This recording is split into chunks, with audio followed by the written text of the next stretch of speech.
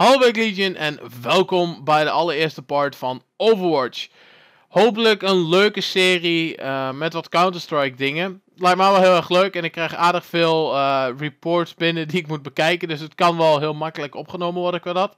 Ik hoop alleen dat jullie het leuk vinden. Ik zal eerst even uitleggen wat Overwatch precies inhoudt. En daarna gaan we het potje kijken. En het potje is met een hacker. Dus dat is al uh, heel interessant. Ik heb hem zo net al even bekeken. Maar ik zal eerst even het concept van Overwatch uitleggen gauw. Uh, dit is een Counter-Strike Global Offensive. En uh, Overwatch houdt in dat als jij een player report voor... Uh, je kunt van alles reporten in deze game. Je kunt voor griefing doen, aim slash wallhacking, zeg maar zoiets. aim bot, andere hacks. En dan heb je ook nog abusive text en voice chat.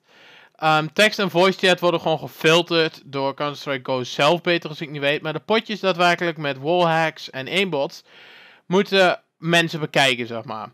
En die mensen zitten bij Overwatch. En Overwatch, daar kom je gewoon bij door de game zelf geselecteerd, zeg maar. Ik ken mensen die hebben 800 uur Counter-Strike gespeeld en zijn Master Guardian en zitten niet in Overwatch. En toevallig zijn Teduk en ik allebei tegelijkertijd Overwatch geworden. Um, wat inhoudt dat wij dus elke keer zo'n beetje als we de game opstarten, dan krijgen wij hier een, uh, een ding dat we kunnen gaan bekijken. En dat houdt in dat wij moeten oordelen of de persoon die dus gereport is, daadwerkelijk hackt of aan het grieven is, of ja, nou hack, zeg maar één pot of wall hack. En dat is op zich wel heel erg leuk. Uh, tot nu toe heb ik allemaal mensen gehad die gewoon goed speelden of wat dan ook. En ik vind het op zich wel cool dat dus gewoon community members uh, de reports binnenkrijgen, zeg maar. En dan moeten oordelen van wel of niet. En het is niet zo dat ik nou beslis, omdat die jongen hackt, dat hij gelijk een ban krijgt. Um, het houdt voornamelijk in dat, um, ja, dat hij extra gecheckt wordt, zeg maar, door het VAC-systeem van Steam. En dat is een behoorlijk agressief anti-hack ding, wat wel heel erg goed is. En die vindt echt van alles en nog wat, allerlei bestanden in je memory en dergelijke. En dan krijg je een VAC-ban. En eh, dat is in principe het doel ervan. En we zullen op review evidence kijken. En aan het einde van uh, dit potje krijg ik een lijstje en dan moet ik aangeven van ja wel of niet, zeg maar, hacks of niet, of griefing wel of niet, et cetera. Um, dit is echt het begin. Je krijgt 7 rondes ongeveer te zien, normaal gesproken. Dit is warming up nog. En nu zitten ze hier. Dit is dus de suspect. Je ziet ook geen namen.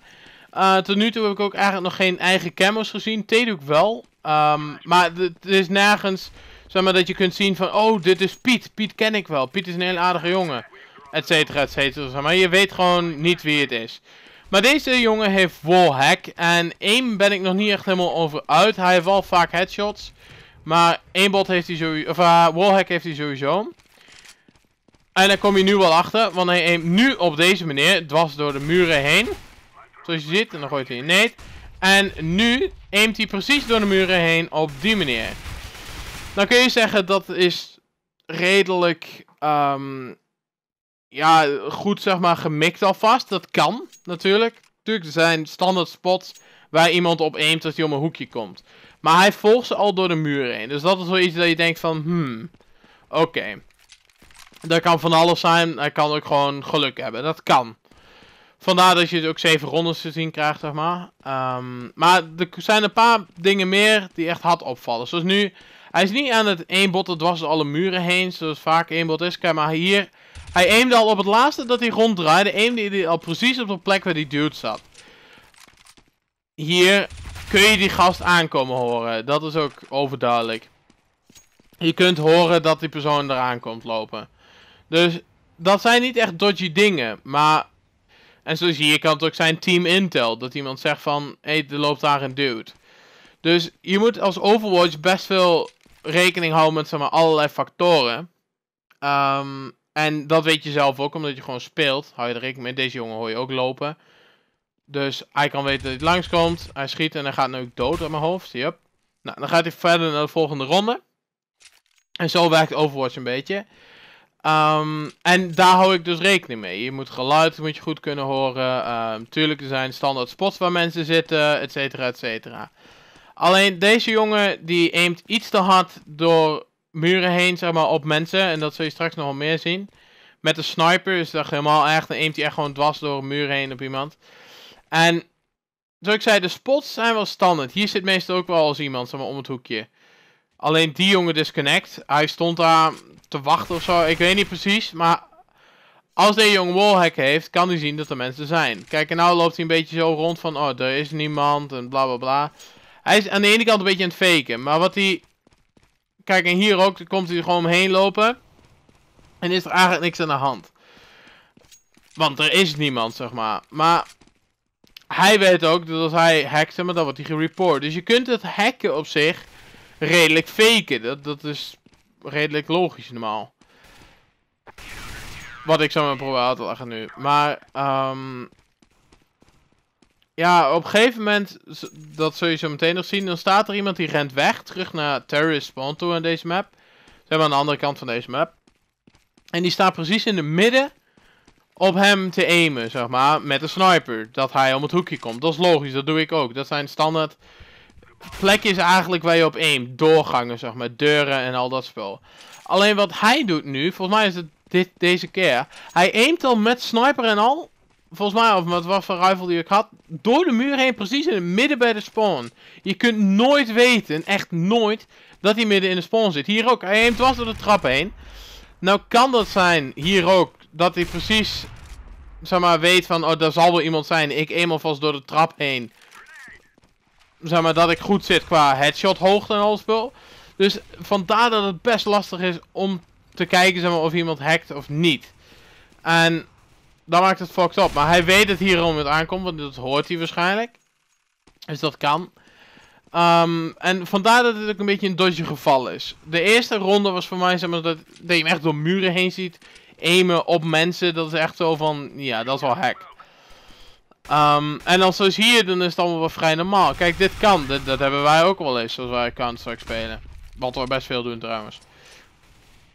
Alleen maar zo'n beetje. Maar, we spelen echt over Counter-Strike op het moment.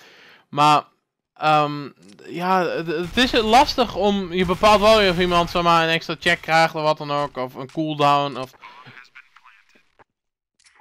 Vandaar dat je overal moet letten. En uh, het idee van dit Overwatch-achtige is voor mij, zeg maar, dat ik uh, vaker deze potje wil opnemen. Maar dan echt gewoon de allereerste keer dat ik het, de footage zie, zeg maar. Gelijk zo gauw als ik de footage zie en op download evidence klik, zeg maar, dat ik uh, dan vervolgens, zoals ik op review klik, dat ik dan ga opnemen en dan zien we samen, zeg maar, wel of niet. En dat leek me wel erg leuk. Ik heb dat gezien bij Hatton Games, ook een best bekende Counter-Strike YouTuber. Hier neemt hij ook op, door de muur heen op die deur. En hier is hetzelfde geval. Hij kilt hem niet, daadwerkelijk. Maar hij weet dat die deur precies daar links is. En precies op zijn hoofd. Dat kun je niet helemaal weten. Je weet dat er een spot is, maar hij kan iets links zitten of iets rechts en niet vol op zijn bak is gemikt. Dus vandaar dat ik deze dude zo ook gewoon aangeklikken voor wallhack. Eén bot niet echt, want hij, hij heeft wel headshots, maar hij schiet over het algemeen nog wel regelmatig mis. Zoals daar ook. En in één bot is echt wel snap en, en kill. Kijk, en hier is die kill, wat ik zei, dat hij al dwars aimt op die dude die in het midden staat. Dat doet hij nu. Zie? Hij lijnt zijn schot al op. Ja, daar zit die jongen. Je kunt niet weten dat die dude in het midden zit. Allemaal nooit niet. Dat is echt onmogelijk dat je weet dat die dude in het midden zit. Dus vandaar, nou, major disruption, aim. Yep, evident beyond a reasonable doubt. Vision Assistance, dat houdt in... Uh, oh, aim trouwens niet, sorry. Deze bedoel ik. Vision Assistant, dat is wallhack. Dit is aimbot, dat heeft hij niet. Naar mijn idee. Automatic Targeting, Recoil Reduction or Elimination. En dit is Vision Through Walls of Smoke, Flashbang Fake Reduction or Elimination. Dat is het wel. Other external, dat kan speed hacking zijn, jumping scripts, nou dat heeft hij niet. En hij was ook niet aan het grieven. Want hij was niemand aan het team killen of de bommen aan het weggooien of al dat spel. En nou ja, hij heeft dus wel Vision Assistant. Dat is wel relatief duidelijk, zeg maar. Niet altijd even hard, maar dit lijkt er toch wel verdomd veel op. Vandaar submit, nou, your verdict has been received, thank you, etc. That's it. Dat is Overwatch. Um, en zoals ik zo meteen wel een potje ga spelen met Theedoek, dan... Uh, dan als ik weer terugkom, dan heb ik al zo'n beetje weer een Overwatch uh, review. Dus dan gaat het redelijk snel. Dus voor mij is het wel makkelijk om veel uh, parts van op te nemen. Ik hoop alleen dat jullie het heel erg leuk vinden. En dit is dan ook een soort pilot. Zo noemen ze dat bij series normaal op televisie. Een pilot om te kijken van vinden mensen het leuk of niet. Dus als je dit leuk vindt en dan de volgende parts gaan gewoon zijn met, ja, echt gewoon live reactie meer, zeg maar. En niet gewoon uitleg van wat Overwatch inhoudt. Um, en dan, um, ja, zien we wel. Het zijn wel korte video's, maar dan wil ik dat een beetje als serie gaan doen. Totdat Forza Horizon 2 en Batman en Alien Isolation en al dat spel uitkomt. Daarnaast ook natuurlijk Battleblock Theater. Ook al weten jullie dat eigenlijk nog niet volgens mij. Maar dat komt ernaast lopend. Um, maar dan wil ik gewoon Counter-Strike potje opnemen qua dat. Ik hoop dat je het leuk vindt. Laat eens even weten in de comments wat je hiervan vindt. Om zo potjes te gaan bekijken. Kan ons rustig zijn dat we echt gewoon vier of vijf afleveringen achter elkaar of parts uh, hebben. Waar er gewoon geen hacks in zitten of dat iemand zit te grieven. Wat ook wel grappig is soms. Um, maar het kan zijn dus dat het gewoon vijf keer in principe niks is. Maar dat het dan ook gewoon een part. En kan zijn dus dat we een keer een hacker tegenkomen of wat dan ook. Dus uh, het is eigenlijk een verrassing dan elke part wat we krijgen. Ik hoop dat je het heel erg leuk vindt. Ik vind het wel heel erg leuk om op te nemen. En ik vind het gewoon heel leuk om te doen. Eigenlijk die mensen te bekijken en kijken of iemand een hacker is of niet. Dus laat even weten. Laat ik even weten of je dacht dat hij aan het hacken was of niet. Ik vind het wel redelijk duidelijk dat hij aan het wallhacken was. Um, maar je moet gewoon heel veel dingen rekening houden. En op zich is het ook wel goed als je Counter-Strike speelt en je bent zilver, ergens in de zilver, zeg maar. Ik ben nu Gold Nova, maar dat stelt het niet zoveel voor. Um, maar je leert er ook wel dingen van op zich. Dat je weet van, oh ja, daar zijn echt spots waar mensen uh, vaak zitten. Dus dat je al voor die tijd aimt, dat doen wij ook wel. Um, alleen niet was door een muur precies op die dude, zodat je niet weet waar die zit. Dus dat is dan wel je wallhack. Maar je haalt er misschien nog wel wat, uh, wat leuke informatie of tips uit als je zelf de game speelt. Ik ben zeer benieuwd. Laat het weten in de comments. Als je het leuk vindt, geef natuurlijk een dikke thumbs up. Deel hem met je vrienden en zet hem in favorieten. En zie ik weer in de volgende video. Later.